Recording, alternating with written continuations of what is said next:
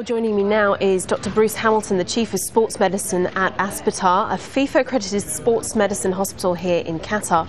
Dr. Hamilton, why are these cases not being picked up before it comes to this uh, tragic case? Yeah, good afternoon, Joanna. It's uh, obviously events like this are tragic, and our thoughts go out to the um, friends and family uh, uh and uh, wish them well through this difficult period.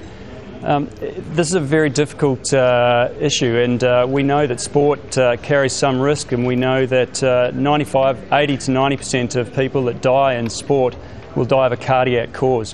While we don't know what went on here, we know that uh, one 200,000 people will die per year of heart-related causes while participating in sport. The challenge of trying to prevent that really takes two fronts. First front is uh, looking at screening and trying to pick up those athletes at risk before uh, they have an event such as this.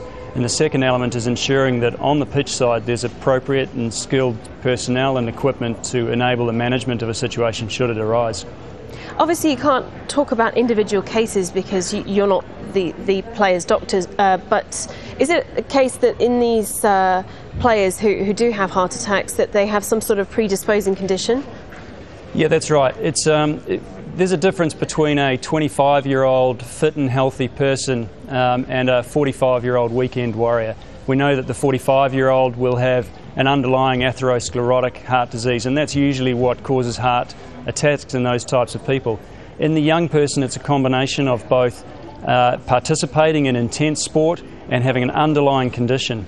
We know the most common cause of death uh, in a young person from in, uh, related to sport is due to cardiomyopathy, hypertrophic cardiomyopathy, and that has an incidence of about 1 in 500 people. So 1 in 500 people out there playing sport will have this underlying condition that predisposes them to sudden cardiac death.